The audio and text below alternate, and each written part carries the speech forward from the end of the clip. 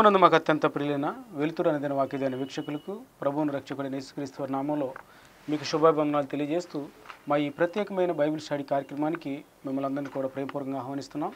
నాణ్యమైన మరియు వివరణాత్మకమైన బైబిల్ యొక్క బోధన అందించడం మా ఈ కార్యక్రమం యొక్క ముఖ్య ఉద్దేశమైంది. మాతో కలిసి ప్రతినిత్యం మీరు పరిశుద్ధ లేఖనాలను ధ్యానిస్తున్న దానిని బట్టి ప్రభుని మేము ఎంతగానో స్థుతిస్తూ ఉన్నాం. రెండు ఈరోజు మన వాక్య ధ్యానాంశంలో భాగంగా యేసుక్రీస్తు ప్రభువారు కల్వరి పలికినటువంటి ఏడు మాటల గురించి మనం ధ్యానించబోతున్నాం. ఈ సిలువ ధ్యానాలు అంటాం. ఈ ఏడు మాటల గురించి మనం ధ్యానించుకోవటానికి ముందు యేసుక్రీస్తు ప్రభువారు గెత్సెమైన తోటలో తండ్రితో సహవాసం చేస్తా ప్రార్థన చేసుకుంటూ ఉన్నప్పుడు యేసుక్రీస్తు ప్రభువారిని నైట్ అంటే తెల్లవారుజామున మూడు గంటలకు రోమా సైనికులు లేకపోతే యోధామాత పెద్దలు అరెస్ట్ చేయడం జరిగింది. మూడు గంటల నుంచి యేసుక్రీస్తు ప్రభువారికి తొమ్మిది గంటలకి తెల్లవారి తొమ్మిది గంటలకి సిలివేస్తారు. ఈ మధ్యలో ఆరు తీర్పులు యేసుక్రీస్తు ప్రభువారు జరిగాయి. మొదటి తీర్పు గురించి మనం చూస్తే యోధా మత నాయకులు యేసుక్రీస్తు ప్రభువారిని మొదట యోధా మతాధిపతి అయిన అన్న దగ్గరికి ఆయన తీసుకొని వెళ్తారు. యోహాన్ సవార్త పద్దెనిమిది అధ్యాయం పన్నెండు పదమూడు వచ్చిన చూస్తే మనకు అర్థమవుతుంది. అయితే అక్కడ యేసుక్రీస్తు ప్రభువారి మీద చేసిన నేరారోపణ ఏంటంటే ఆయన బోధ విషయమై జనులందరినీ కూడా చెడగొడుతున్నాడు అని ఆయన బోధ గురించి ఆయన్ని అన్న దగ్గరికి తీసుకుని వెళ్ళి శిక్షించమని అడిగారు. అయితే అన్న దగ్గర నుంచి రెండో తీర్పు కైపా దగ్గరకు తీసుకుని వెళ్ళారు. కైపా దగ్గర తీసుకుని వెళ్ళినప్పుడు మళ్ళీ యేసుక్రీస్తు ప్రభువారి మీద మోపినటువంటి నేరారోపణ మారింది. ఈయన దేవదోషం చేస్తున్నాడని వాళ్ళు అంటున్నారు. అంటే దేవాలయం పడగొట్టమంటున్నాడు. పడగొడితే మూడు దినాల్లో దాన్ని తిరిగి లేపుతానని ఈయన అంటా ఉన్నాడు. కాబట్టి ఇది దేవదోషణ అని వాళ్ళు భావించడం జరిగింది. కాబట్టి రెండో తీర్పు కైపా దగ్గరికి వెళ్ళేసరికి నేరారోపణ దేవదోషం చేస్తున్నారని చెప్పారు. వాస్తవానికి యేసుక్రీస్తు ప్రభువారు తన మరణాన్ని గురించి తన పునరుద్ధానాన్ని గురించి అక్కడ మాట్లాడాడు. ఆయన ఏ నేరం చేయలేదు. కాబట్టి కైపా దగ్గర నుంచి మూడో తీర్పుగా మహాసభ ఎదుటికి తీసుకుని వెళ్ళారు. ఈ మహాసభ ఉదయం ఆరున్నర గంటలకి వాళ్ళకి ప్రారంభమవుతుంది. అంటే ఈ ఆరున్నర గంటల లోపే యేసుక్రీస్తు ప్రభువారికి మూడు తీర్పులు జరిగిపోయాయి. మహాసభ దగ్గరికి వెళ్ళేసరికి మరొక నేరారోపణ ఆయన మీద చేశారు. రెండోసారి ఆయన్ని తీర్పు తీర్చేటప్పుడేమో ఆయన ఏమీ సమాధానం చెప్పలేదు. కానీ ఈ మళ్ళీ మహాసభ దగ్గరకు తీసుకొని వచ్చినప్పుడు నువ్వు దేవుని కుమారుడువా అని యేసుక్రీస్తు ప్రభుని ప్రశ్నించారు. దానికి యేసుక్రీస్తు ప్రభు ఏమన్నారంటే మీరన్నట్టే నేను దేవుని కుమారుని అన్నారు. కాబట్టి దీన్ని వాళ్ళు పాపంగా పరిగణించి యేసుక్రీస్తు ప్రభు వారిని అక్కడి నుంచి ఎక్కడ తీసుకుని వెళ్ళారంటే ఆ, పిలాతు దగ్గర తీసుకుని వెళ్ళారు. చూడండి యేసుక్రీస్తు ప్రభు వారి మీద చేసిన నేరారోపణలు పర్సన్ టు పర్సన్ వ్యక్తి టు వ్యక్తికి చేంజ్ అవుతూ మారిపోతూ ఉన్నాయి. ఆయన్ని అన్నా దగ్గర తీసుకుని వెళ్ళినప్పుడేమో బోధ విషయమై నేరారోపణ చేశారు. అక్కడ నుంచి కైపో దగ్గర తీసుకుని వెళ్ళినప్పుడేమో దేవదోషణ చేస్తున్నాడు ఈయన దేవాలయాన్ని పడగొట్టమంటున్నాడని మరొక నేరారోపణ చేశారు. మళ్ళీ మహాసభ దగ్గర తీసుకుని వచ్చినప్పుడు నేనే దేవుడిని అని చెప్పుకుంటున్నాడు అని మూడు రకాలుగా ఆయన్ని మూడు రకాల నేరారోపణలు అంటే ఆయన వ్యక్తులు చేంజ్ అయ్యేటప్పటికీ నేరారోపణ కూడా మారిపోతూ ఉంది. ఇప్పుడు పిలాతు దగ్గర తీసుకుని వెళ్ళాడు పిలాతు రోమియుడు అన్యుడు. కాబట్టి యోధ మతానికి సంబంధించిన ఏ విషయాలు కూడా తను మత సంబంధమైన విషయాలు ఆసక్తి చూపించడు. కనుక యేసుక్రీస్తు ప్రభువారి మీద చేసిన ఆరోపణ పిలాతు దగ్గరికి వెళ్ళిపోయేసరికి మరలా మారిపోయింది. వాళ్ళు ఏమన్నారంటే ఇది ఒక కైసరికి పన్ను చెల్లించొద్దు అని ఆయన చెప్తుంటూ జనాల్లో చెప్తూ మేము విన్నాం అని యేసుక్రీస్తు ప్రభువారి మీద మరొక తప్పుడు నేరారోపణ చేయడం జరిగింది. వాస్తవానికి యేసుక్రీస్తు ప్రభువారు అన్నారు కైసరు కైసరికి ఇవ్వండి దేవునికి దేవునికి ఇవ్వండి అని గవర్నమెంట్కి కట్టాల్సిన ట్యాక్స్ విషయంలో సపోర్ట్ చేస్తే దాన్ని వక్రీకరించి యేసుక్రీస్తు ప్రభువారి మీద మరొక నేరారోపణ వాళ్ళు చేయటం జరిగింది. పిలాతు దగ్గర నుంచి నేరుగా హేరో దగ్గర తీసుకుని వెళ్ళారు. అది ఐదో తీర్పు. హేరో దగ్గర నుంచి మళ్ళా పిలాతు దగ్గర తీసుకుని వచ్చినప్పుడు పిలాతు యేసుక్రీస్తు ప్రభువారు నిర్దోషాన్ని ఎరిగిండు కూడా యేసుక్రీస్తు ప్రభువారికి సిలువ శిక్ష ఆయన విధిస్తూ ఉంటాడు. ఇదంతా కూడా ఉదయం ఎనిమిదిన్నర లోపు జరిగిపోయింది. అంటే యేసుక్రీస్తు ప్రభువారిని తెల్లవారుజామున మూడు గంటలకు అరెస్ట్ చేసిన తర్వాత మూడు తీర్పులేమో యోధా మత పెద్దలు చేశారు. మిగతా మూడు తీర్పులేమో రోమియులు వాళ్ళు పిలాతు హేరోదు మరలా పిలాతు వాళ్ళు చేయటం జరిగింది. ఈ విధంగా యేసుక్రీస్తు ప్రభువారికి సిలువ శిక్ష విధించారు. ఆయన ఉదయం తొమ్మిది గంటలకు సిలువేశారు మనం ఈరోజు దేని గురించి మాట్లాడుకోబోతున్నాం అంటే యేసుక్రీస్తు ప్రభువారి యొక్క సిలువ ధ్యానాలు లేకపోతే సిలువ మీద పలికిన ఏడు మాటల గురించి మనం ధ్యానించుకోబోతున్నాం. ఎందుకనంటే మత్తై మార్కు లోక యోహాన్లు ఈ సువార్తలన్నీ కూడా మనం ప్రతిరోజు ధ్యానించుకుంటూ వచ్చాం. ఇప్పుడు యోహాన్ సువార్త ముగింపులోకి మనం వచ్చాం. ఈ ఏడు మాటలను మనం ఎక్కడ కూడా వరుసగా మనం మాట్లాడుకోలేదు కాబట్టి ఈ ఏడు మాటలు ఇప్పుడు మనం ఖచ్చితంగా ధ్యానించుకోవాల్సిన అవసరం ఉంది. ఇప్పుడు యేసుక్రీస్తు ప్రభువారు సిలువైబడ్డాడు ఉదయం తొమ్మిది గంటలకు. ఆయన ప్రాణాన్ని పెట్టింది మధ్యాహ్నం. ఆయన మూడు గంటలకు యేసుక్రీస్తు ప్రభువారు తన ప్రాణాన్ని పెట్టడం జరిగింది. ఈలోపు ఆయన కేవలం సిలువ మీద ఏడు మాటలు ఆయన మాట్లాడగలిగాడు. ఆయన ఏం మాట్లాడాడు అనేది కింద ఉన్న ప్రజలు విన్నారు సైనికులు విన్నారు.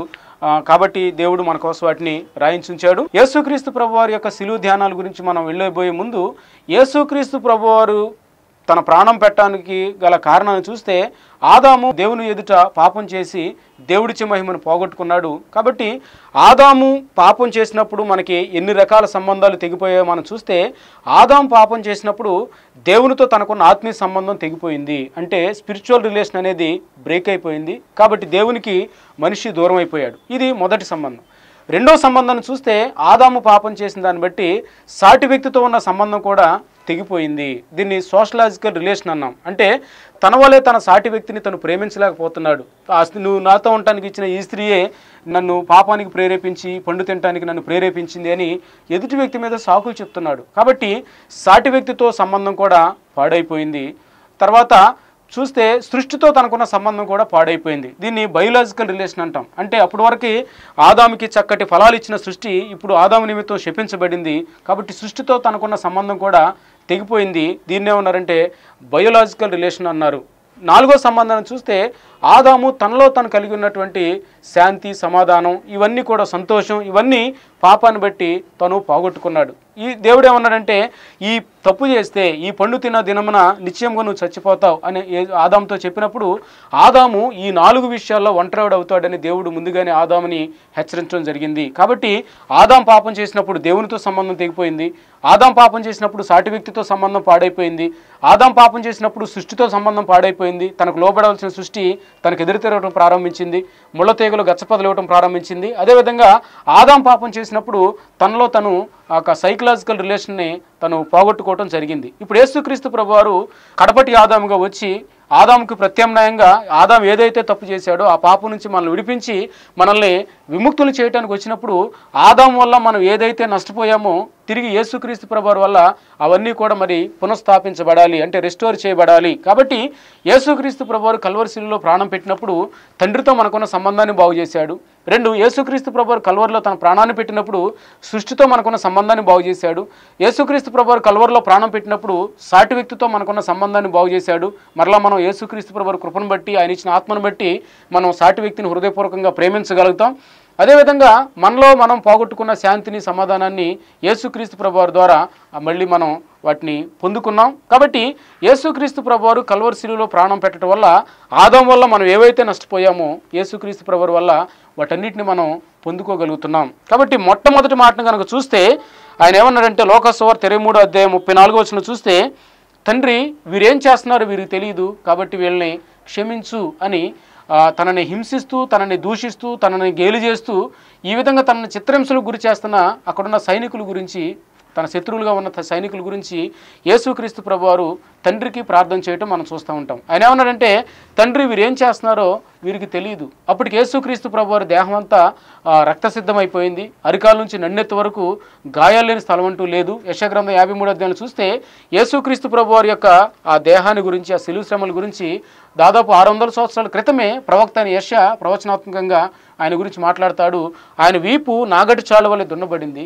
తండ్రి అతన్ని శిక్షించడం తండ్రికి ఇష్టమైంది. కాబట్టి నల్లగొట్టబడ్డాడు. సురూపం సొగసు లేనివాడుగా యేసుక్రీస్తు ప్రభువారు ఆకాశానికి భూమికి మధ్యలో మూడు మేకుల మీద వేలాడుతూ అతి దయనీయమైన పరిస్థితిలో మాంసం ముద్దగా మార్చబడి నలభై కొరడా దెబ్బలు ఒకటి తక్కువ నలభై కొరడా దెబ్బలు ముప్పై తొమ్మిది కొరడా దెబ్బలు యేసుక్రీస్తు ప్రభువారు అనుభవించి ఆ రక్తమును ఆ కండలన్నీ కూడా లాగేసి ఊడిపోయి ఆ నరాలన్నీ కూడా తెగిపోయిన పరిస్థితుల్లో యేసుక్రీస్తు ప్రభువారు మాంసం ముద్దగా మార్చబడి లేని ఓపికను కూడదెచ్చుకొని కొద్ది గంటల్లో ఆయన తన ప్రాణాన్ని విడిచిపెడతాడు. తన శత్రువులు ఈ విధంగా తనని హింసిస్తున్నప్పటికీ యేసుక్రీస్తు ప్రభు ఏం చెప్పి చేస్తున్నారంటే శత్రువులు శిక్షించొద్దు ప్రభు. వీళ్ళు ఏం చేస్తున్నారో వీళ్ళకి తెలియదు. ఈ యుగ సంబంధమైన దేవత వీళ్ళ మనోనేత్రాలకి గుడ్డితనం కలుగు చేశారు కాబట్టి సృష్టికర్తనైన నన్ను వీళ్ళు సిలివేస్తున్నారు. నన్ను హింసిస్తున్నారు. నన్ను గేయం చేస్తున్నారు. కాబట్టి వీళ్ళని మీరు క్షమించండి అని యేసుక్రీస్తు ప్రభువారు తన శత్రువుల గురించి ప్రార్థన చేయటం మనం చూస్తూ ఉన్నాం. కాబట్టి ఆయన ఐదో ఐదో అధ్యాయ మత్స్యవార్తలు మనం చూసాం గత తరగతులలో ధన్యతల గురించి మనం మాట్లాడుకునే సందర్భంలో యేసుక్రీస్తు ప్రభు అంటారు ఇదిగో మిమ్మల్ని కుడి చెంప కొట్టే వారికి ఎడమ చెంప చూపించండి. కొండ మీద ప్రసంగంలో చెప్తారు. ఎవరైనా మిమ్మల్ని ఒక మైలు దూరం రమ్మంటే వాడితో పాటు రెండు మైలు దూరం వెళ్ళండి. మీ శత్రువుల నిమిత్తం మీరు ప్రార్థన చేయండి. మిమ్మల్ని హింసించే వారి కోసం మీరు ప్రార్థన చేయండి. మీ శత్రువుల కోసం మీరు మీ శత్రువులు మీరు ప్రేమించండి. ఈ విధంగా ఆయన బోధ చేసినప్పుడు నిజంగా ఆయన ఆయనకు శత్రువులను ప్రేమించే మనసు ఉంది శత్రువులను ప్రేమించే గుణం ఉంది కాబట్టే తన హింసిస్తూ తనని చిత్రహింసలు గురి చేస్తూ తనని మానసికంగా శారీరకంగా బాధ పెడుతూ అన్యాయంగా తనను శిక్షిస్తున్న ఆ సైనికుల గురించి యేసుక్రీస్తు ప్రభువారు ప్రార్థన చేస్తున్నారు. ఏమనంటే వీరికి ఏం చేస్తున్నారో? తెలియట్లేదు తండ్రి వీళ్ళని మీరు క్షమించండి అని శత్రువులను క్షమించగలిగేటంత దయార్థ హృదయం యేసుక్రీస్తు ప్రభువారికి ఉంది. ఆయన శిలువులో తన ప్రాణం పెట్టేటప్పుడు కూడా వాళ్ళని రక్షించడానికి వాళ్ళని శిక్ష నుంచి తప్పించడానికి యేసుక్రీస్తు పడే ఆ తాపత్రయం మనం గమనించవచ్చు. కాబట్టి ఇది మొట్టమొదటి మాట. అది యేసుక్రీస్తు ప్రభు చేసినటువంటి చిన్న ప్రార్థన. రెండో మాటను మనం చూస్తే లోక సువార్త ఇరవై మూడో అధ్యాయం నలభై మూడో వచనంలో రెండో మాట మనం చూస్తాం. దాని పక్కన ఉన్న తనతో పాటు ఇద్దరు దొంగలు సిలివేయబడ్డారు బందిపోటు దొంగలు ఎడమవైపున ఒకళ్ళు కుడివైపున ఒకళ్ళు. ఆ బందిపోటు దొంగలో ఒక దొంగ మారుమనసు పొందినప్పుడు ఆ దొంగతో యేసుక్రీస్తు ప్రభు రెండో మాట చెప్తారు. ఏమనంటే నీవు నాతో కూడా పరదేశంలో ఉంటావు. నేడు నువ్వు నాతో కూడా పరదేశిలో ఉంటావు. ఎందుకనంటే ఈ ఇంకొక దొంగ ఏమో యేసుక్రీస్తు ప్రభు యొక్క దైవత్వాన్ని గుర్తించలేదు. మరొక దొంగ యేసుక్రీస్తు ప్రభు యొక్క దైవత్వాన్ని గుర్తించాడు. ఆయన ఏమన్నాడంటే అయ్యా నువ్వు రెండో రాకల్లో వచ్చినప్పుడు నన్ను నీతో పాటు తీసుకొని వెళ్ళు. ఆ పరలోకంలో నాకు కూడా స్థలాన్ని ఇవ్వు అని యేసుక్రీస్తు ప్రభువారిని రిక్వెస్ట్ చేసినప్పుడు యేసుక్రీస్తు ప్రభువారు తనలో కలిగినటువంటి మార్పుని తన పాప నిమిత్తం పశ్చాత్తాపడుతున్నాడు యేసుక్రీస్తు ప్రభువారి యొక్క ఈ భూమి మీదకి వచ్చిన ఉద్దేశాన్ని గ్రహించాడు. తను అన్యాయంగా శిక్షించబడ్డాడని ఎరిగాడు. తర్వాత యేసుక్రీస్తు ప్రభువారు ప్రాణాన్ని పెట్టి రెండోసారి మరలా తన కోసం రాబోతున్నాడు అని యేసుక్రీస్తు ప్రభు యొక్క దైవత్వాన్ని గుర్తించిన వ్యక్తి తన పాపాల నిమిత్తం పశ్చాత్తాపడుతున్న వ్యక్తి ఎవరిని కూడా నశింపి చేయటం దేవునికి ఇష్టం లేక ఏ వ్యక్తి కూడా మారు మనసు పొందకుండా పాపంలో కొనసాగుతూ ఉంటే అది దేవునికి ఇష్టం ఉండదు. కాబట్టి ఆ లాస్ట్ మినిట్లో ఆ వ్యక్తి రిపెంట్ అయినప్పుడు పశ్చాత్తాపడ్డప్పుడు దేవుడు ఆ వ్యక్తితో ఏమన్నాడంటే సెకండ్ కమింగ్ వరకు కూడా కాదు రెండో రాకడ వరకు కాదు ఈరోజే నాతో పాటు నువ్వు కూడా పరదేశ్ వచ్చేసేయచ్చు అని యేసుక్రీస్తు ప్రభువారు ఆ వ్యక్తితో మాట్లాడటం మనం చూస్తూ ఉంటాం. ఇది యేసుక్రీస్తు ప్రభువారు పలికిన రెండో మాట. అయితే చాలామంది ఈ వచనం దగ్గరకు వచ్చేసేపాటికి ఏమంటారంటే యేసు సిలువలో తన ప్రాణాన్ని కోల్పోతున్న సమయంలో ఈ దొంగ మారుమనసు పొందాడు. కాబట్టి యేసుక్రీస్తు ప్రభువారితో పాటు పరదయసు పరలోకం తను వెళ్ళాడు. కాబట్టి నేను కూడా నా జీవిత చర్మాంకంలో నా మరణదశకు దగ్గరలో ఇంకొక రెండు క్షణాల్లో నేను ప్రాణం పోతుందనగా నేను యేసుక్రీస్తు ప్రభువారు నా సురక్షకుడు అంగీకరిస్తాను అని వాళ్ళు వాళ్ళ పాపాల నిమిత్తం పశ్చాత్తాపట్టాన్ని తర్వాత యేసుక్రీస్తు ప్రభుని స్వరక్షకుడు అంగీకరించడానికి వాళ్ళు వాయిదా వేస్తారు పోస్ట్ పోన్ చేస్తారు. ఎందుకంటే ఈ సులువు మీద దొంగ లాంటి ఉదాహరణ తీసుకొని వాళ్ళు వాళ్ళ జీవితానికి అప్లై చేసుకొని ఇంకా ఈ పాపాన్ని విడిచిపెట్ట ఇష్టం లేక మనసులో కోరికలను విడిచిపెట్ట ఇష్టం లేక ఈ లోక స్నేహాన్ని విడిచిపెట్ట ఇష్టం లేక వాళ్ళు పరలోక రాజ్యాన్ని కాళ్ళదంతా ఉన్నారు. గమనించాల్సిన సత్యం ఏంటంటే మన ప్రాణం ఎప్పుడు పోతుందో తెలియదు ఒకవేళ ఉద్దేశపూర్వకంగా మనం పశ్చాత్తాపట్టాన్ని వాయిదా వేసి ఉద్దేశపూర్వకంగా యేసుక్రీస్తు ప్రభు నాకు అవసరం లేదని పక్కన నెట్టి చివరి క్షణాల్లో మనం మారుమనసు పొందామని ఇంత వేషాలు వేస్తూ ఉంటే దేవుడికి మన హృదయం తెలియదా? నువ్వు ఆయనకి నీ హృదయంలో ఇవ్వాల్సిన స్థానం ఇవ్వకుండా ఇవ్వాల్సిన ప్రాధాన్యత ఇవ్వకుండా నీ రక్షణను వాయిదా వేస్తూ నీ మారుమనసును వాయిదా వేస్తూ పశ్చాత్తాపట్టాన్ని వాయిదా వేస్తూ ఉంటే రేపు ఆ ఆ శిక్ష నుంచి మనం ఎలా తప్పించబడతాం? మనం మనుషులు మోసం చేస్తామేమో కానీ దేవుణ్ణి మనం మోసం చేయలేము కాబట్టి యేసుక్రీస్తు ప్రభువారు పలికిన రెండో మాట నేడు నువ్వు నాతో కూడా పరదేశంలో ఉంటావు. అంటే తన ప్రాణం పోయేంత మట్టుకు యేసుక్రీస్తు ప్రభువారు తండ్రి పంపిన పనిలోనే ఉన్నాడు. ఆయన ఆత్మల రక్షణార్థం పనిచేశాడు. అదే ఆత్మల రక్షణార్థం ఇది ఆ వ్యక్తిని తనతో పాటు పరలోక రాజ్యానికి తీసుకొని వెళ్తున్నాడు. మూడో మాట కనుక మనం చూస్తే మరీతో యేసుక్రీస్తు ప్రభువారు చెప్పిన మాట తను ప్రేమించే శిష్యుడితో యేసుక్రీస్తు ప్రభువారు చెప్పిన మాట ఏంటంటే అమ్మ ఇదిగో నీ కుమారుడు. అతనితో చెప్పాడు ఇదిగో నీ తల్లి అని యేసుక్రీస్తు ప్రభువారు తన తల్లిని తను ప్రేమించే శిష్యుడైన శిష్యుడికి ఇవ్వటం. అంటే తను జ్యేష్ఠుడిగా పుట్టాడు ఆ కుటుంబంలో యేసుక్రీస్తు ప్రభువారు పెద్ద కొడుకు జ్యేష్ఠుడు. అయితే తన తల్లిని తండ్రిని సన్మానించమని దేవుడు ధర్మశాస్త్రంలో రాయించి ఇచ్చాడు. యేసుక్రీస్తు ప్రభువారు వల్ల అనేక మంది ఎన్నో బెనిఫిట్స్ పొందుకున్నారు. అప్పటికి చరిత్రకారులు అంచనా ప్రకారం మరియ భర్తగా ఉన్న ఏసేపు కూడా చనిపోయినట్టుగా మనకి తెలుస్తూ ఉంటుంది. కాబట్టి తన తల్లి విధవరాలు కుటుంబ పోషణ పెద్ద కొడుకుగా తనే చూసుకోవాలి. తన తర్వాత సహోదరులు సహోదరులు ఉన్నారు. అయితే యేసుక్రీస్తు ప్రభువారి వల్ల బైబిల్లో మనం చూస్తే సువార్తల్లో ఏ విధమైన లబ్ధి తన తల్లికి అక్కడ పొందుకోకపోవటం చాలా విచారకరమైన సంగతి. కాబట్టి తనకిప్పుడు ఆశ్రయ ఇవ్వాల్సిన అవసరం ఉంది. ఒక కొడుకుగా తను నెరవేర్చాల్సిన బాధ్యత ఉంది.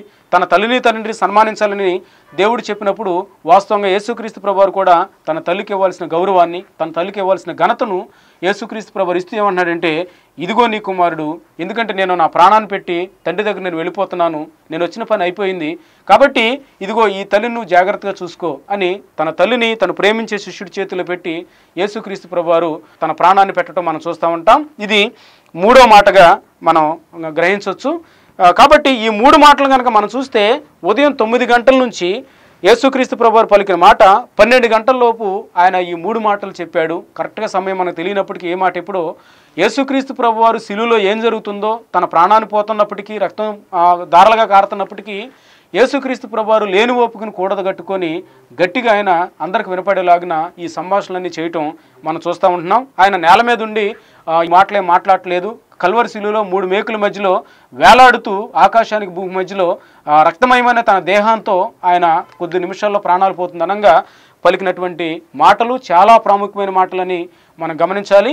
ఈ మొదటి మూడు మాటలు యేసుక్రీస్తు ప్రభువారు వెలుగులోనే మాట్లాడాడు. మొదటి మాట తండ్రి వీరేం చేస్తున్నారు? వీరికి తెలియదు అది ఒక ప్రార్థన. రెండో మాట చూస్తే ఇదిగో నీవు నాతో కూడా నేడు పరదేశంలో ఉంటావని తన పక్కనున్న దొంగతో యేసుక్రీస్తు ప్రభు చెప్పటం. ఇది కూడా ఆయన వెలుగులోనే మాట్లాడాడు. మూడో మాటను మనం చూస్తే తన తల్లితో ఇదిగో అమ్మ ఇదిగో నీ కుమారుడు తన ప్రేమించే శిష్యుడితో ఇదిగో నీ తల్లి జాగ్రత్తగా చూసుకో అని యేసుక్రీస్తు ప్రభు తన బాధ్యతను రెస్పాన్సిబిలిటీని నిర్వర్తించడం మనం చూస్తూ ఉంటున్నాం. ఈ ఎప్పుడైతే ఈ మూడు మాటలు యేసుక్రీస్తు ప్రభువారు పలికారో దాదాపు అప్పుడు సమయం పన్నెండు గంటలైంది ఈ పన్నెండు గంటలప్పుడు ఆ దేశమంతా గాఢాంధకారం కమ్ముకుంది. కాబట్టి యేసుక్రీస్తు ప్రభువారు తర్వాత మాట్లాడే నాలుగో మాట ఐదో మాట మరియు ఆరో మాట చూస్తే ఈ మూడు మాటలు కూడా ఆయన గాఢాంధకారంలో చీకట్లో మాట్లాడినట్టుగా మనకి తెలుస్తూ ఉంటుంది బైబిల్లో. మళ్ళీ ఏడో మాట ఆయన పలికేటప్పుడు వెలుగులోనే ఆయన మాట్లాడుతూ ఉంటారు. కాబట్టి చీకట్లో ఏం జరిగింది? యేసుక్రీస్తు ప్రభువారు నాలుగో మాట మాట్లాడుతున్నప్పుడు అసలు ఆయన ఏమి ఏం జరిగిందో మనం లేఖనాల్లో చూడాల్సిన అవసరం ఉంది. నాలుగో మాట మనం చూస్తే అప్పటికి పన్నెండు గంటల నుంచి మూడు గంటల వరకు గాఢాంధకారం కలిగింది చీకటి కమ్మింది. యేసు మౌనంగా ఉన్నాడు. ఏం జరుగుతుందో అక్కడ అర్థం కావట్లేదు. కాబట్టి నాలుగో మాటగా ఆయన అన్నాడు మార్కు సువార్త పదిహేను అధ్యాయం ముప్పై నాలుగు వచనంలో ఏలి ఏలి లామా సబక్తాని అని ఆయన పలకటం జరిగింది. ఆ మాటకు అర్థం ఏంటంటే నా దేవా నా దేవా నన్ను నేల చేయి విడిచిపెట్టావు.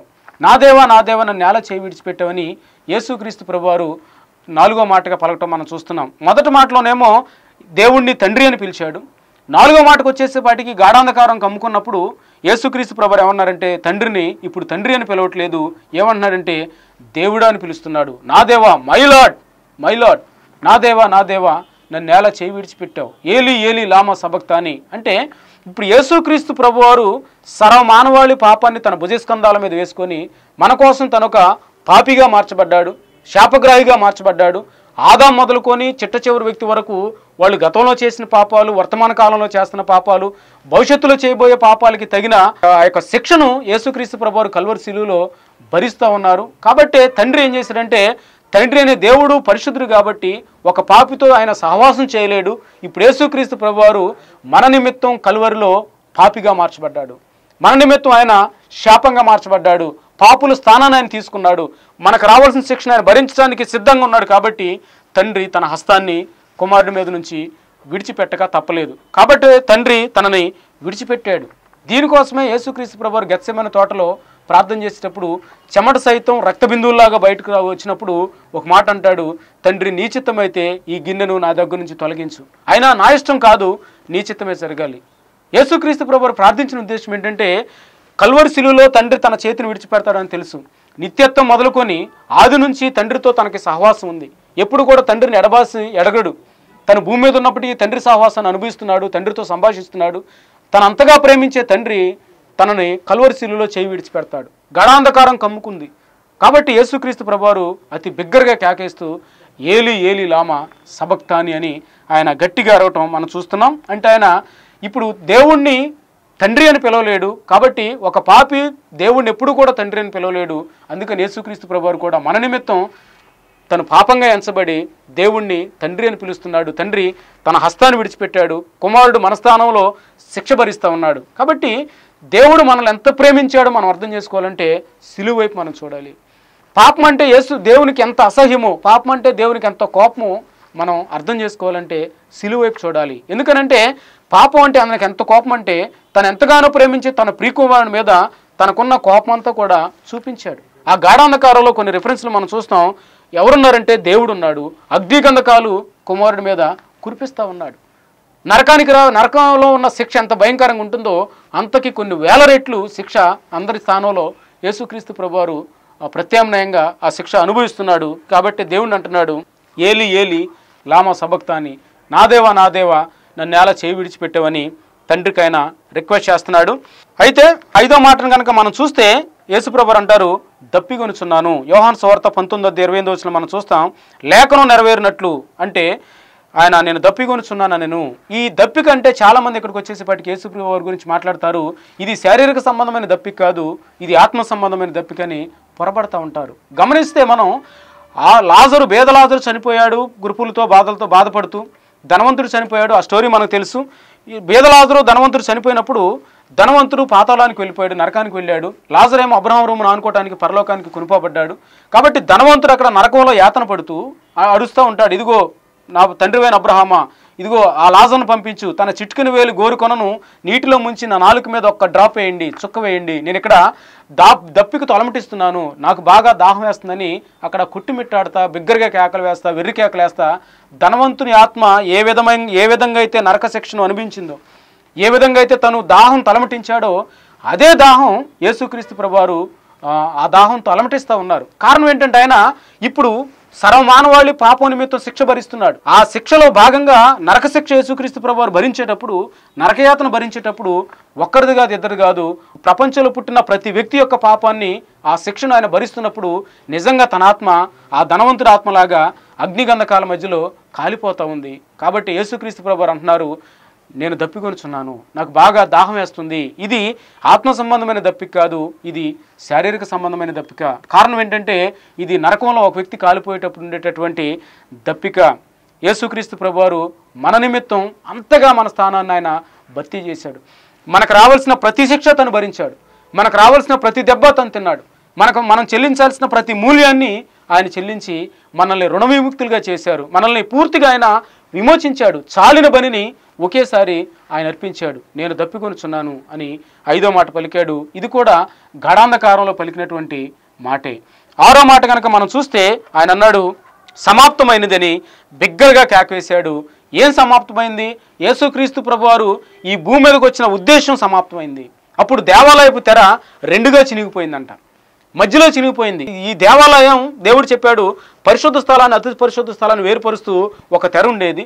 ఆ తెర మధ్య అయింది సంవత్సరానికి ఒక్కసారి ప్రధాన యాజకుడు అతి పరిశుద్ధ స్థలంలోకి వెళ్ళిపోయి అక్కడ దేవునికి తన విన్నపాలు సమర్పిస్తూ ఉండేవాడు.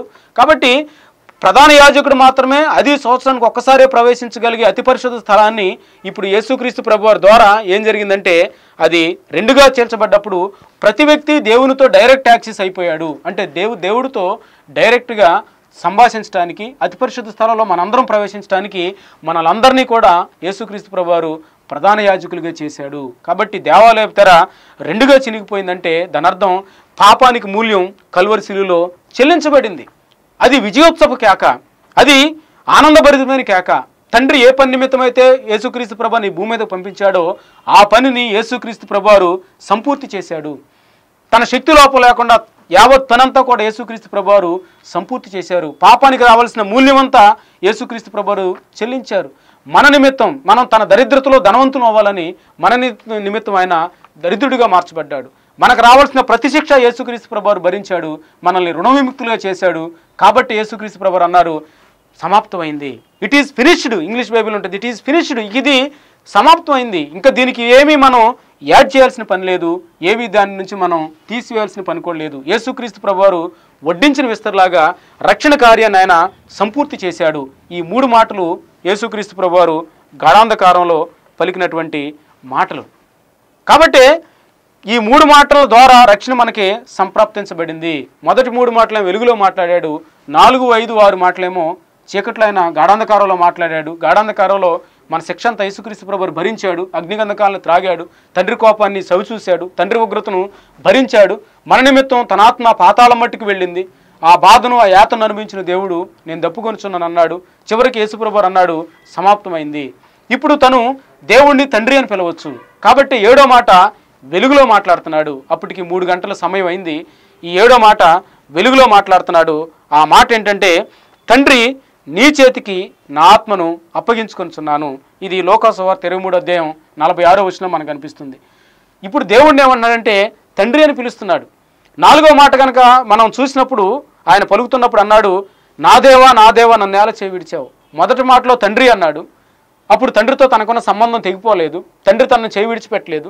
కానీ ఎప్పుడైతే గాఢాంధకారం కమ్ముకుందో ఆ గాఢాంధకారంలో తల్లడిల్లిపోతూ బిగ్గరగా రేలుక రెల్లకేకలాగా ఆయన మాట్లాడుతూ దేవా నా దేవా నా దేవా నన్ను నేల చేయి విడిచిపెట్టావు. అంటే దేవుణ్ణి ఇప్పుడు తండ్రి అని పిలవలేడు పాపిస్తానంలో తనున్నాడు కాబట్టి మై లార్డ్ అని దేవుణ్ణి దేవుడిగానే పిలుస్తున్నాడు. కానీ ఆ శిక్ష అంతా ఆయన భరించినప్పుడు ఇప్పుడు ఏడో మాటగా ఆయన వచ్చినప్పుడు అంటున్నాడు పాపాని శిక్ష వచ్చేసింది కాబట్టి దేవుణ్ణి తండ్రి అని పిలుస్తున్నాడు. ఏమన్నాడంటే తండ్రి నీ చేతికి నా ఆత్మను అప్పగించుకొనిచున్నాను. తన ప్రాణాన్ని విడిచాడు. అంటే మనందరం కూడా చనిపోయినప్పుడు మనం నిద్రించామనో లేకపోతే చనిపోయామనో లేకపోతే మరణించామనో పిలుస్తూ ఉంటారు. కానీ యేసుక్రీస్తు ప్రభువారిని కనుక మనం చూస్తే ఆయన తండ్రి నీ చేతికి నా ఆత్మను అప్పగించుకొనిచున్నానని తండ్రి చేతికి తన ఆత్మను అప్పగించి తన ప్రాణాన్ని ఆయన విడిచిపెట్టాడు. యేసుక్రీస్తు ప్రభు అన్నారు తన శరీరధారిగా ఉన్న దినాల్లో నా ప్రాణం పెట్టడానికి తిరిగి ఆ ప్రాణాన్ని తీసుకోవటానికి కూడా నాకు అధికారం ఉంది అని యేసుక్రీస్తు ప్రభువారు చెప్పారు. ఆయన ఎవరూ చంపలేరు. తనంతట తనగా ప్రాణం పెడితే తప్ప ఆయన కల్వరి సిలువులో ఎవరో కూడా తన ప్రాణాన్ని తీయలేరు. కాబట్టి తను చేసిన రక్షణ కార్యం అయిపోయింది. తను వచ్చిన ఉద్దేశం నెరవేర్చబడింది. కాబట్టి సంతోషంగా ఆయన మిషన్ వర్క్ అంతా కంప్లీట్ అయిపోయింది కాబట్టి మనిషికి రావాల్సిన రక్షణ వచ్చేసింది. ఆదాం వల్ల మనం ఏవైతే పోగొట్టుకున్నామో దేవునితో మనకున్న సంబంధం పాడైపోయింది. ఆదాం వల్ల. కానీ యేసుక్రీస్తు ప్రభువారితో అదే ఆత్మీయ సంబంధం మరలా పునరుద్ధరించబడింది. కాబట్టి మనం దేవుడిని ఏమని పిలవగలుగుతున్నాం అంటే తండ్రి అని పిలవగలుగుతున్నాం. కాబట్టి ఆత్మ సంబంధమైన రిలేషన్ని యేసుక్రీస్తు ప్రభువారు బాగు చేశారు. ఆత్మ సంబంధమైన సంబంధాన్ని ఆత్మీయ సంబంధాన్ని యేసుక్రీస్తు ప్రభువారు తిరిగి పునఃస్థాపించాడు. బాగు చేశాడు. అదేవిధంగా ఆదాం వల్ల మనం సాటి వ్యక్తితో సంబంధాన్ని పోగొట్టుకున్నాం. సామాజిక సంబంధాన్ని పోగొట్టుకున్నాం. కాబట్టి యేసుక్రీస్తు ప్రభువారి ద్వారా మళ్ళీ సామాజిక సంబంధం కూడా పునఃస్థాపించబడింది. అది బాగుపడింది. సాటి వ్యక్తిని మనం దేవుని కృపను బట్టి దేవుడిచ్చిన ఆత్మను బట్టి మనం ప్రేమించగలుగుతున్నాం. మన వల్లే మన శత్రువులను ప్రేమించగలుగుతున్నాం. కారణం యేసుక్రీస్తు ప్రభు ఆ సంబంధాన్ని బాగు చేశారు. ఇది మనకు అసాధ్యమే కానీ దేవుడు అట్టి మనసును హృదయాన్ని మనకు అనుగ్రహిస్తున్నాడు. కాబట్టి ఈ సామాజిక సంబంధం కూడా యేసుక్రీస్తు ప్రభు బాగు చేశారు. తర్వాత ఆదాం పాపం చేసినప్పుడు సృష్టితో తనకున్నటువంటి సంబంధం పాడైపోయింది. అంటే బయోలాజికల్ రిలేషన్ అన్నాం. ఈ బయోలాజికల్ రిలేషన్ కూడా యేసుక్రీస్తు ప్రభువారు దాన్ని పునఃస్థాపించాడు దాన్ని బాగు చేశాడు రిస్టోర్ చేశాడు. కాబట్టి పేతురు ఒకనొక సందర్భాలు అన్నాడు పేతురు నీళ్ళ మీద నడుచుకుంటారా? అంటే సృష్టి పాపం వల్ల ఎప్పుడైతే మనిషికి ఎదురు తిరిగిందో సృష్టి లోబట్టం మానేసిందో యేసుక్రీస్తు ప్రభు వచ్చి మళ్ళీ సంబంధాన్ని బాగు చేశారు. పేతురు నేటి మీద నడుచుకుంటూ ఈ భూమి మీద యేసుక్రీస్తు ప్రభు దగ్గరికి రావటం మనం చూస్తూ ఉన్నాం. అంటే సృష్టి మీద మళ్ళీ మనిషికి అధికారం వచ్చింది. ఇది యేసుక్రీస్తు ప్రభు వారు మనకిచ్చిన మూడవ రిలేషన్. అదేవిధంగా పాపం వల్ల మనిషి కోల్పోయిన శాంతిని సమాధానాన్ని సంతోషాన్ని మరి యేసుక్రీస్తు ప్రభువారు ఇచ్చేశారు. బాగు చేసి నా శాంతిని మీకు ఇస్తున్నాను. ఇది లోకం ఇచ్చే శాంతి కాదు. నేను ఇచ్చే శాంతి శాశ్వతమైంది అని యేసుక్రీస్తు ప్రభువారు మళ్ళీ వాటన్నిటిని కూడా రెస్టోర్ చేయటం జరిగింది. కాబట్టి రక్షణ చరిత్రాత్మకంగా ఉంది. టైం ఉంది ప్లేస్ ఉంది. పర్సన్ కూడా యేసుక్రీస్తు ప్రభువారుగా అక్కడ ఉన్నారు ఇవి సిలువు మీద పలికిన ఏడు మాటలు. కాబట్టి వీటిని మనం హృదయాలకి ధ్యానం అప్లై చేసుకుంటూ మనం దేవునికి ఇష్టకరంగా బ్రతుకుదాం. తల్ల వంచండి ప్రార్థన చేసుకుందాం. మహాపరిశుద్ధమైన తండ్రి ప్రేమ నమ్మగల ప్రభా నీ గన్నామని బట్టి వందనాలు స్తోత్రాలు. కల్వర్శిలులో మీరు పలికిన ఏడు మాటలను బట్టి నీకు వందనాలు ప్రభా. పాపం వల్ల మేము ఏదైతే పోగొట్టుకున్నామో మళ్ళీ మీరు మీ రక్తాన్ని చిందించి మీ ప్రాణాన్ని పెట్టడం ద్వారా ప్రభా మీరు మాకు ఇచ్చిన రక్షణ ద్వారా వాటన్నిటిని మేము తిరిగి పొందుకున్నాం ప్రభా. ఆత్మ సంబంధాన్ని మీరు బాగు చేశారు. నాయన మరి సృష్టితో మాకున్న సంబంధం బాగు చేశారు. సాటి వ్యక్తితో తెగిపోయిన సంబంధాన్ని మళ్ళీ మీరు బాగు చేశారు. మాలో మేము కోల్పోయిన సమాధానాన్ని మాలో మేము కోల్పోయిన శాంతిని మాలో మేము కోల్పోయినటువంటి ఏవైతే ఉన్నాయో ప్రభా వాటన్నిటినీ మీరు తీసివేసి మళ్ళీ రెస్టోర్ చేశారు. అందుని బట్టి నీ కొందనాలు చెల్లిస్తున్నాం ప్రభా.